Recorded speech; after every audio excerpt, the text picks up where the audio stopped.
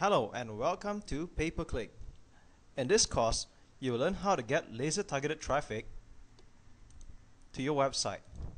This means that you'll be able to generate the exact kind of traffic that you want to achieve, whether you want to have buyers, shoppers, or information seekers coming to your website. Let's begin by explaining what PPC is all about. While there are numerous ways to generate traffic, the fastest way to get results is pay-per-click. PPC simply stands for pay-per-click and it is a traffic generation method which is paid for. However, there is no fixed cost to have your ad placed as your cost depends on how many people click on your ad. PPC might be intimidating as it is a traffic generation method which requires money to be spent. However, PPC is also a science. This means that risk can be calculated and you can measure whether the traffic that you'll be investing will be worthwhile or not. Now let's take a look at an example to see what a pay-per-click advertisement would look like. If you go over to the Google search engine and type in the keyword make money online, Google will return two types of results. The results on the left column below, the yellow zone, are known as organic search results. Organic search results are displayed for free and normally are a consequence of search engine optimization. Whereas search results on the yellow zone and right hand column, these are sponsored clicks. These are pay-per-click ads and are only charged to the advertiser each time a user clicks on the ad. How much this would cost depends on how much the advertisers bid on the term that the surfer typed into the Google search bar as well as other factors which will be discussed throughout this course. We are going to talk very briefly about what is Google AdWords and why it is the best advertising network to run your ads for your business. Google has been winning more web users over the years. Today, Google is the number one most used search engine on the internet. Google receives hundreds of millions search queries on a daily basis. With no doubt, they are the most powerful advertising network on the internet and most internet marketers preferred network to run their ads on. Why this is so is because Google AdWords cost per click pricing are easy to control cost. No matter what your budget is, Google only charges your ad when a person clicks on your ad. AdWords ads are also displayed when a server query specific keywords. This means that you'll be advertising to an audience who are already interested in what you'd be able to offer. As a result, you'll get highly targeted and quality traffic to your websites. PPC networks are places that you may choose to have your ad placed or shown. There are three main types of PPC networks. Search network, partner network, content network. Search networks are search engine networks like Google AdWords, Yahoo Search Marketing, and MSN. Partner networks are made of Google partners, which are normally large website directories. Some examples are EzineArticles, about.com, and Lycos. Content networks are websites or a collection of websites that provide information in various forms such as articles, audios, videos, etc. Some examples include sites like blogs, Squidoo lenses, or even independent websites.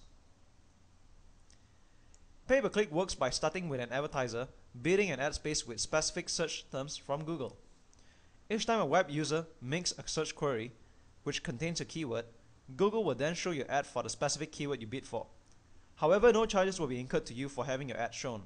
You will then only be charged each time someone clicks on your ad. Given an example for the niche dating for men, you would want to advertise and bid on search terms such as seduce women, attract women, how to talk to girls, and how to flirt with women. So each time any web users makes a query on one or more of the following keywords, your ad will be displayed on the sponsored links column of Google. You'll only then be charged when a user clicks on your dating for men ad. As an internet marketer, you do not need to be intimidated by pay-per-click despite it being a paid method and numerous stories you might have heard on how people have lost their money on pay-per-click marketing. The fact is, PPC is a science and once you acquire the skill, you can experience more success than failure. Pay-per-click marketing also offers many benefits that other forms of traffic generation methods do not. Pay-per-click campaigns are rather easy and very quickly to set up. A new AdWords account can be opened within seconds with a $5 activation fee. You can then put together an entire campaign by setting up your ads and keywords and have the campaign set up and running with traffic coming to your site within 45 minutes. The main gist of PPC is that it is results oriented. All your keywords and conversions are trackable so you'll be able to know which keywords are working and which ones are not. Those that are converting, you can scale them up by adding more related terms of that keyword or bid more for higher positions to get more traffic. Alternatively, those that do not convert, you can simply delete them from your campaign. Overall, your risk can be totally calculated. PPC is also extremely targeted. You can bid on selective keywords. This means when web surfers click on your ad, they are already interested in what you might be able to offer them. PPC also allows you to target on specific geographical areas. You can geographically target them to the dot of the worldwide map. Say for example you're in the real estate business of Beverly Hills. You can geographically target your ads to be shown within a 10 kilometer radius of Beverly Hills. Sounds pretty powerful, right? That's exactly what Google Advertising Network is all about. With PPC, you can also gain competitive intelligence by spying on what your competitors are doing. Find out which keywords they are bidding on, where they are placing their ads, and what their landing pages look like. On top of that, your PPC campaign can also be refined on the fly. If you know what's working and what's not, it will only take a couple of minutes to scale up certain keywords or delete those that are not converting. You'll be gathering lots of data through Google AdWords and you'll be able to make intelligent business decisions based on them because you will know exactly what the market wants. While there are many benefits to PPC, there are some disadvantages to it too. Firstly, PPC is not free. As mentioned earlier, it's a paid method and unfortunately it is a fact also that you can lose money if you don't know what you're doing. Which is exactly why you need to go through this course so that you know what to do. PPC also requires experience to be good at it. It takes time to learn and understand the complexities involved. However, by experience, it does not mean you need to have years of experience to make money with PPC. By experience, it could be as little as 2 to 3 weeks to become an expert at it. It all depends on the number of campaigns that you set up and how much you learn from each and every one of them. However, at the end of the day, in PPC, you are really in absolute control. You determine what works and what doesn't. All you have to do is monitor your data closely and make business decisions from there. So how do you succeed in PPC? First and foremost, you need to be patient. No doubt, PPC is the fastest form of traffic generation, but you need to be patient with PPC. Sometimes in the beginning, things might not go as planned. Your ads might not show because you may be bidding too low. You might start spending a lot of money on your keywords and start panicking. Most people bail because of these reasons. So let your campaign simmer and focus on collecting data in the beginning. The second thing is to always do the math. You need to calculate and forecast the traffic cost and conversions. Weigh these two out to make sure that your revenue will offset your advertising costs and that you'll be profiting. With PPC, you don't need to reinvent the wheel, but you need to stand out by innovating. So do your due diligent research by seeing what other advertisers are doing and if they're still advertising the same ad over a two weeks period, then that goes to show that their campaigns are most likely working. Remember that ultimately in PPC, the key point here is relevancy. So in everything you do with PPC, always remember that relevance is the key. Here are some of the terms that you need to be familiar with, in PPC. You will encounter these terms over and over again in your campaigns. CPC stands for cost per click. CTR stands for click-through rates, which is calculated by clicks over impression. Conv stands for conversion rate, which is calculated by sales divided by clicks. QS stands for quality score, which is, will be rated between 1 to 10. ROI stands for return on investment, which will be calculated by revenue minus cost, then divided by cost. Now that you're familiar with most of the terms that will be used in PPC, Let's move on to the campaign settings that you should be using for PPC marketing. When you sign up for Google AdWords, make sure you set your time zone according to the geographic area or the tracking time zone that you'll be targeting. For example, if you were setting a campaign to target Singapore, you want to set your time zone to Singapore. If you're tracking your stats with an affiliate network such as ClickBank, you will want to set your time zone that follows ClickBank's time. This way, you'll be able to track and monitor your stats in a timely manner. Also, one thing to note is once you set your time zone for your Google AdWords account, it is fixed and you cannot change it again. Next is to set a currency that you would like to use for your account. Most marketers use is US dollar currency. However, this option is entirely up to you. Ideally, you want to set your Google AdWords currency the same as the currency that your sales and profits will be generating. As for your geographic target, set the countries and regions or specific places that you will want your ad to be shown at. On the internet, the more popular geographic targets are US, UK, Canada, and Australia, as this is where the bulk of most of the internet use sales come from. However, the geographic target is flexible and can be changed at any time in your campaign settings. For networks, choose search and partners. Always remember to keep the content network off unless you decide to do a placement campaign. Content network can be extremely costly if you do not target the right sites to place your ads in. However, when you start out, just use the search and partners and keep the content network switched off. For devices, select desktop and laptop computers. Delivery method. Select accelerated.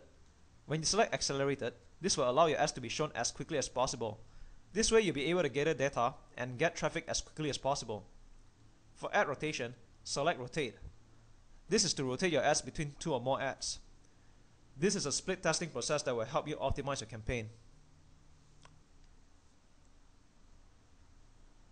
Now let's talk about costing.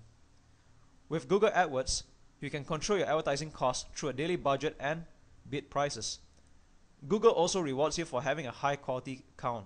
This means that if you have a high quality score, you pay a very much lower cost per click. By setting a daily budget, you will not spend anything more than what you set for your daily budget. This means that if your budget per day is $5, Google will make sure that you only be spending a maximum of $5 a day. How you set your daily budget per day really depends on your own risk appetite. You can even start as low as $1 per day if you wish. Ultimately, the bigger your budget, the more data you'll be able to collect from your campaign to make profitable decisions. If you have small budgets, you can still be successful in your campaigns. The only thing is that it will take a little more time as you're stretching your, stretching your data collection over a longer period of time. What you should note also is that normally you will spend significantly less than usually half of what your daily budget is. For example, if your daily budget is set to $20 per day, you'll most likely only spend about $10 a day. When it comes to determining your bid price, this is where it is very important to always do the math. The two very important variables you need to determine are your conversion rate, break-even CPC. To calculate your conversion rate, the formula is number of conversions times number of clicks. For example, if only one person purchases your product out of 100 clicks, then your conversion rate is 1%. Next is to calculate your break-even CPC. The formula is conversion rate times payout. So once you've determined your conversion rate, all you have to do is multiply it by your commission payout and that be your break-even CPC. For this example, carrying forward your conversion rate of 1%, and say your commission payout for the product you're going to market is $30, then the break-even CPC would be 1% times $30 would be 30 cents. This means that you can afford to pay up to 30 cents for each cost per click. Of course, your objective of marketing is not to break even. You want to make a profit, right? Then all you do is to make sure that your cost per click is less than 30 cents and you will start profiting. If your cost per click is more than 30 cents, then you'll be uh, incurring losses. One more formula you should learn is how to calculate your return on investment. The formula is revenue minus cost divided by cost. For example, if you generate $1,000 from an ad cost of only $700, then your profit will be $300. Your ROI will then be 1000 minus 700, then divide by 700, which equals to 43%. Ideally, the ROI to aim for is 100% or more. If you're not getting 100%, then tweak your campaign until you achieve that.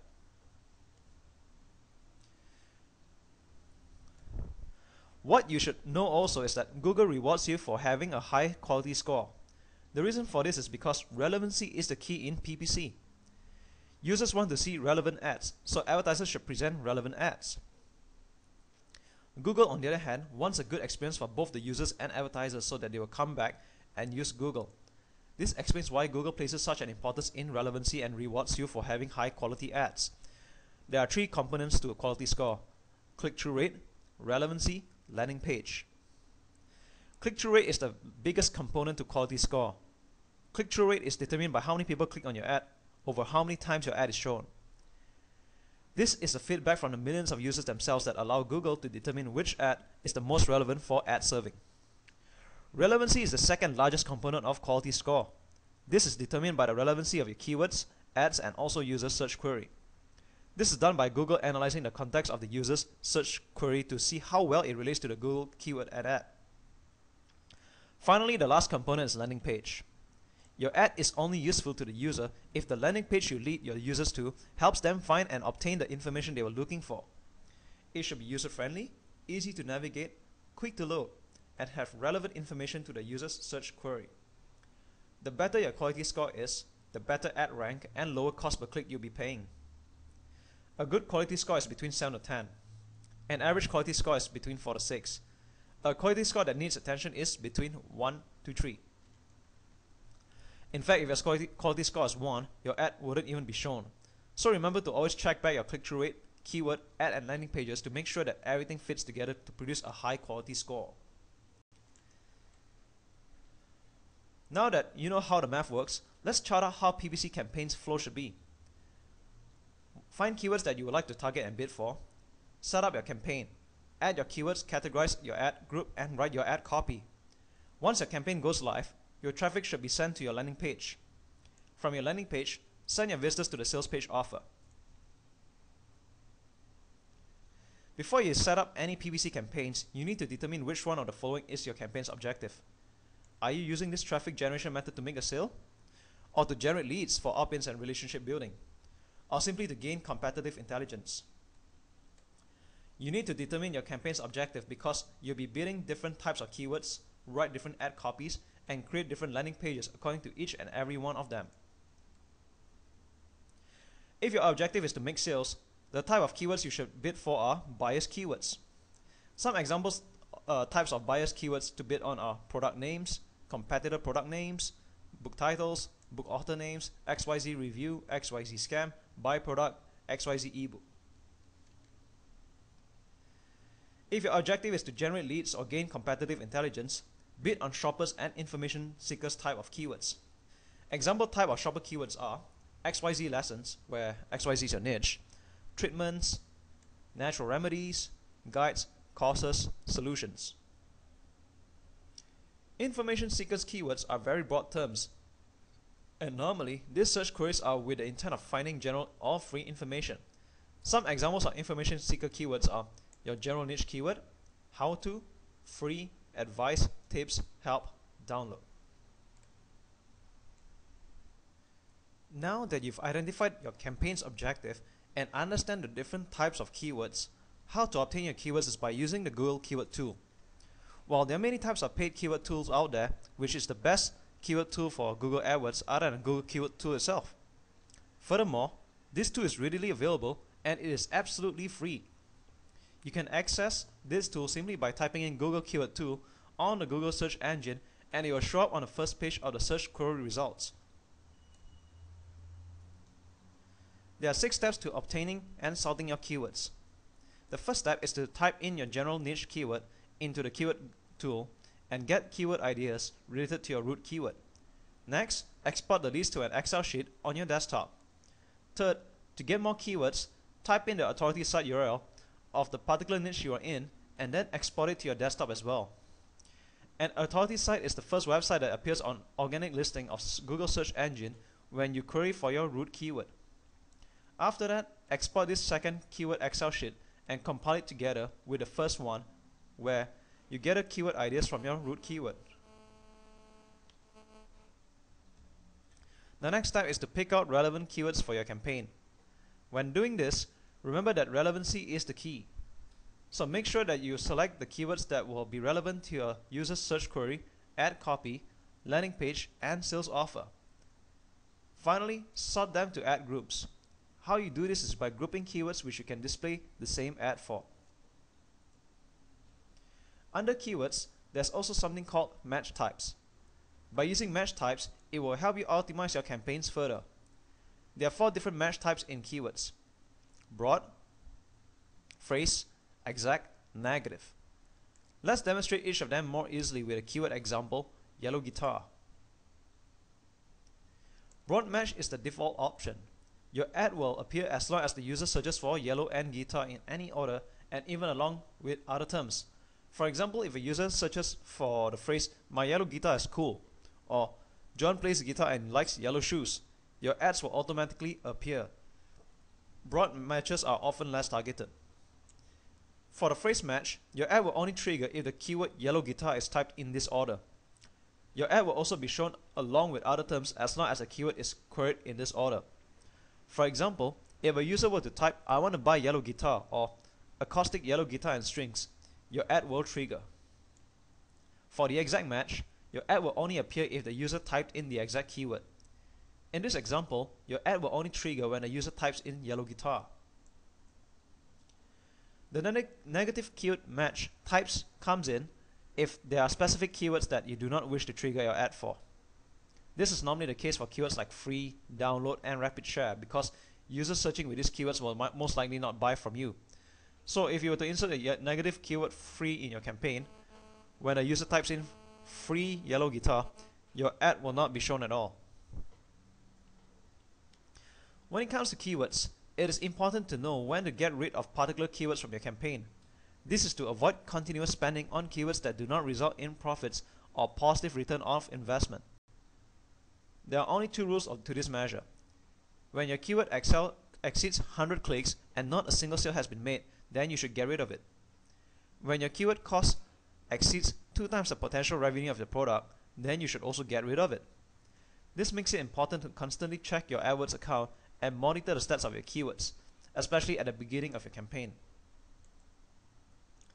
Now that you understand everything about keywords, let's move along to ad groups. As talked about briefly earlier, an ad group is basically a list of related keywords for which you display the same ad. An example ad group would be seduce women. In this example, the keywords that will be categorized under this ad group will be keywords like seduce woman, how to seduce woman, how to seduce her, and I want to seduce a woman. This means that all of these keywords would trigger the same ad. Ideally, an ad group should have between 5 to 20 keywords, but of course the less keywords the better as this will be more targeted to your ad.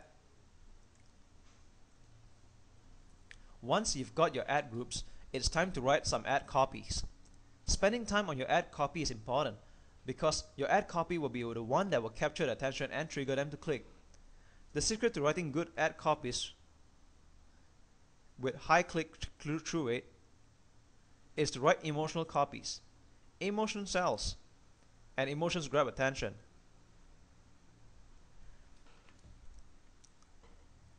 Your ad copy should start with pain, state the pain, and finally get into the pleasure.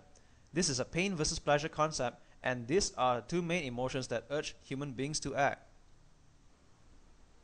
For your ad copy, there are limitations to the number of characters you can use. In your headline, you are limited to 25 characters. For description 1 and 2, you are limited to 35 characters. And in your display URL, you are limited to 25 characters. The good news here is you do not need to write long off copies. They just need to be short and concise. Since click-through rates play such an important role for your quality score, here are some tips that will help improve your click-through rate. Firstly, always highlight your unique or your emotional selling point. If there is something unique about you, then tell them. If your product can spark certain kinds of emotions, tell them too.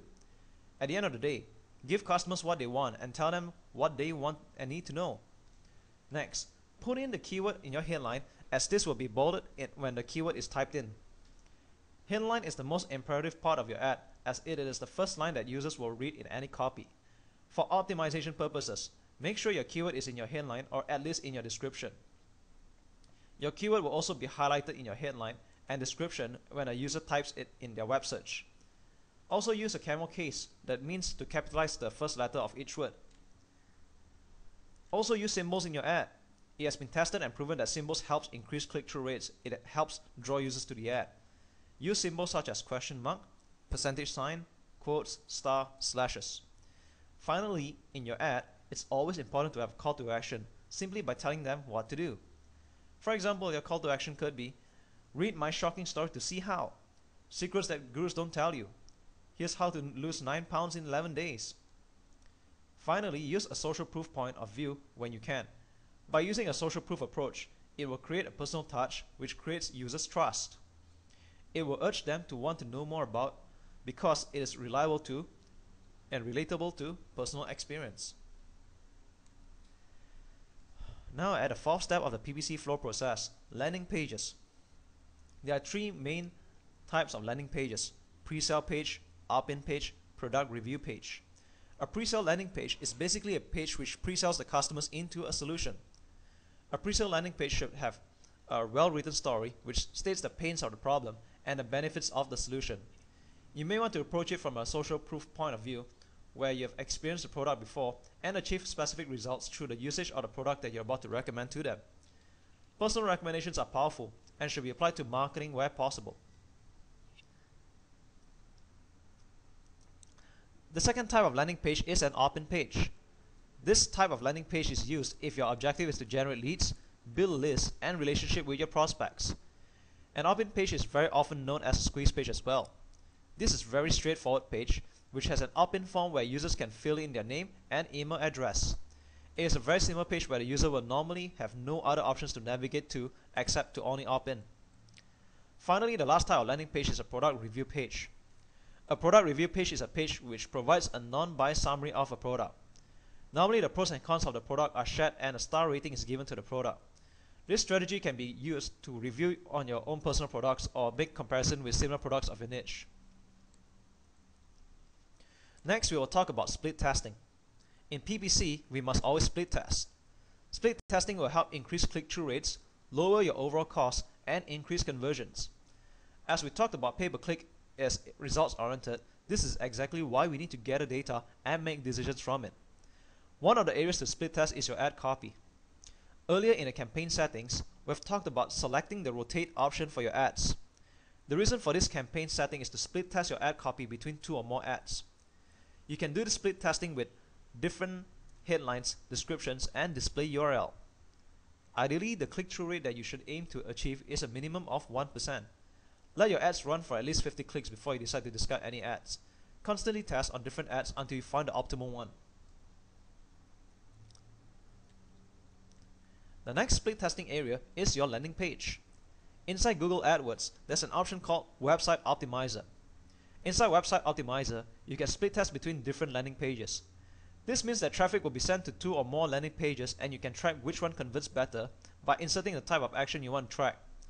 The action could be for the user to click through to another website or to opt into your form or even to make a sale purchase. With landing page split testing, test one thing at a time. Test between different header copies, layouts, colors, and fonts. You'll be surprised that small tweaks in your landing pages can create a huge impact in your conversion rate.